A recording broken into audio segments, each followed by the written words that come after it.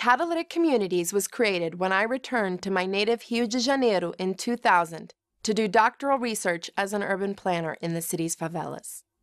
My preconceptions, mainly from media portrayals, were blown away by the reality of vibrant, unique, and functioning communities. I was inspired by the intricate solidarity networks, rich cultural production, social programs, organic architecture, and community initiatives, all developed by residents, despite neglect by the authorities. The rest of Rio and the world can learn from these communities about creative problem solving, collaboration, and localized urban development. We believe that the ongoing and organically nurtured development of Rio's favelas holds a key to sustainable urbanization worldwide.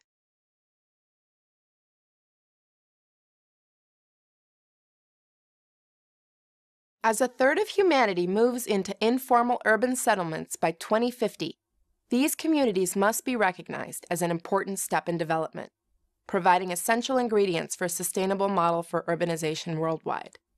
CATCOM works to establish policies based on favela qualities, participatory models, and calling for policies that address missing services. All our projects contribute to our long-term objective of shifting perceptions regarding how informal communities are perceived, developed, supported, and addressed worldwide. There's been a return to the policy of forcibly and illegally evicting residents from their homes. CATCOM's short-term objective is to stop these evictions and publicize favela's hard-won legal rights.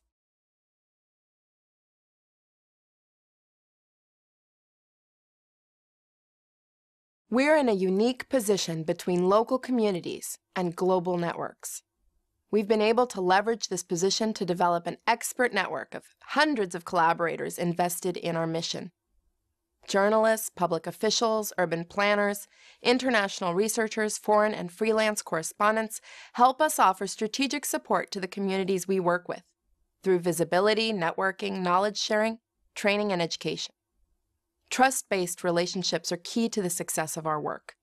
Through years of daily support at our Casa Community Hub, we've developed close relationships with over 2,000 community leaders across 300 communities in Rio. We now receive daily reports from communities across the city, which we analyze strategically, sharing with our network to enable and support.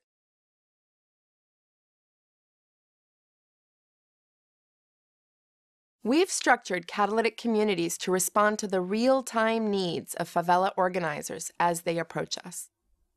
Given the volatile conditions under which these communities operate, we stay responsive and flexible to their needs through a commitment to experimentation, humility, and reflection. We're a small, dedicated team with a flat hierarchy, run as a volunteer collaborative network with a 25 to 1 volunteer to staff ratio. Our core staff safeguard, manage, and advance programs. Volunteers, interns, collaborators, and partners help implement and expand the reach and scope of our programs.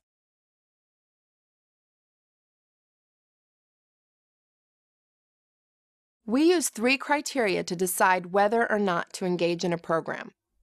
First, all programs must fill an important gap. We use our programs to push boundaries. We invent and establish new possibilities for action. Secondly, through all programs, we seek to leverage impact. We contribute to the effectiveness of ours and others' programs across Rio's favelas. Finally, all our programs must clearly align with our mission keeping us focused. Success is tracked qualitatively and quantitatively using a combination of metrics. We track social media growth, community testimonials, adoption of approaches, reproduction of content, and measurable change.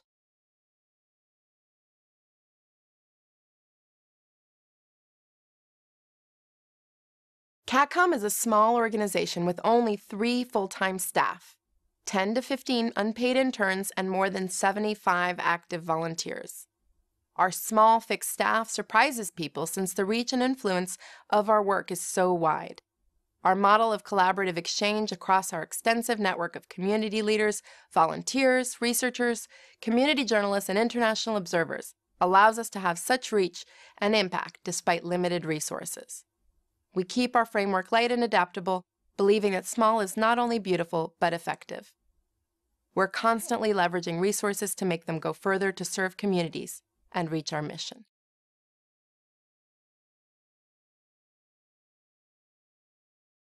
Our Community Solutions database provided the first online presence for community initiatives worldwide. We received a Tech Award from the Tech Museum of Innovation for this work. We launched the CASA Community Technology Hub, providing free internet and peer-to-peer training for over 1,200 leaders from 250 communities across Rio. UN Habitat recognized it as one of 70 actionable ideas on urban sustainability.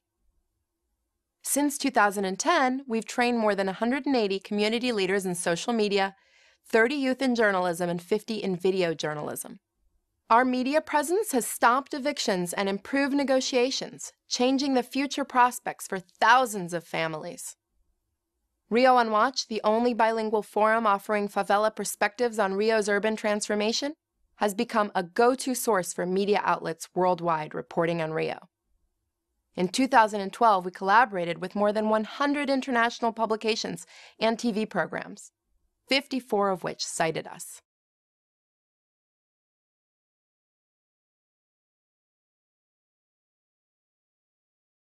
Rio's favelas are victims of severe and seemingly intractable stigma. They're broadly perceived as places of poverty, crime, illegality, and squalor. This stigma is the greatest challenge these communities, and we face. It fuels the frequent abuse of human rights and supports top-down interventions. It negates community accomplishments and ignores community needs. We work tirelessly to promote recognition of favelas as vibrant, functioning neighborhoods with qualities to preserve and strengthen. This is built into all of our programs and work.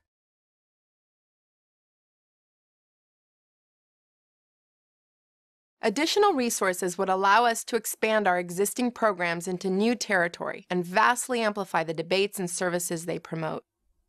With additional resources, we'd relaunch Rio on Watch as a full news portal, including opinion pieces and debate spaces. We'd produce a story of the favela animated short to dispel myths and stigmas surrounding Rio's favelas by telling the over 115-year history of these communities using historical and economic data.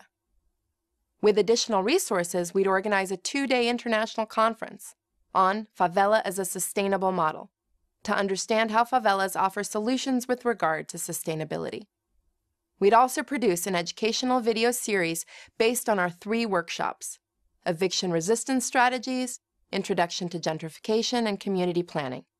This is so communities that are threatened for seeking support from NGOs can find support online.